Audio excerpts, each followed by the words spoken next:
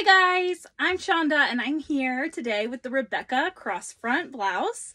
Um, I am a size 2022 and this is a 3XL. Um, Size wise, I wouldn't probably go smaller than this, um, but it is a super soft, stretchy material.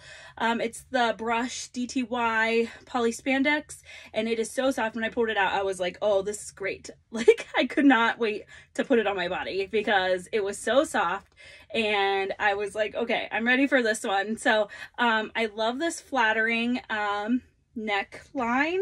It is super cute. It has, it does go all the way down. I'm not wearing a tank top, so I probably shouldn't pull it too far, but it does go um, down and it is like definitely crossbody, but it is attached here. So there's no like tie or anything. I can't unattach it so it won't come open.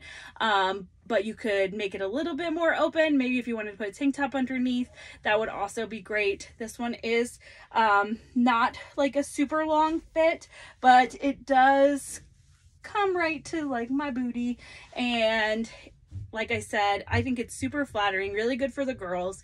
Honestly, just cannot wait to get this on my shelves because this one is going to be an awesome seller. It's very flattering. Um, and like I said, like it's got lots of space and it's super soft. That's the going to be the selling point here is the softness because I'm super for that. So like I said, I'm a size 2022.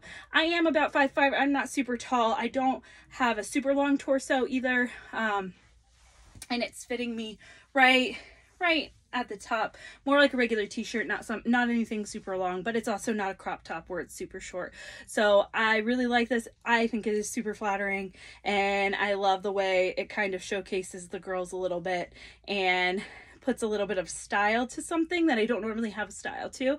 So I think this is fun and I cannot wait to get it in front of our customers and sell, sell, sell. Thanks guys.